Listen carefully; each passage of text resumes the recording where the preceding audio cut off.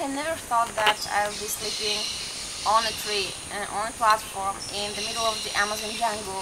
So when I woke up, it was just like a dream. Where am I? And what are we doing here? And what are all the noises? But really, it was great. Well, for me, uh, the sound of the jungle makes me fall asleep instantly, and uh, all the birds, monkeys screaming around.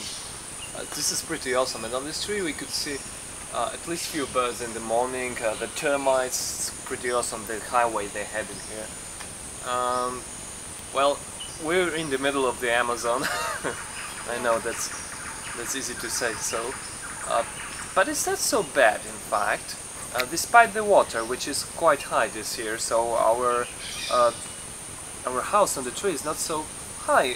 But for me, it works pretty much because we have the jungle is completely different now. It was great, and we uh, Yeah. heard the caiman in the night.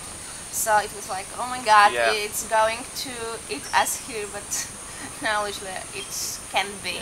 monkeys screaming, a lot of birds around. So it's pretty much an experience everyone should have.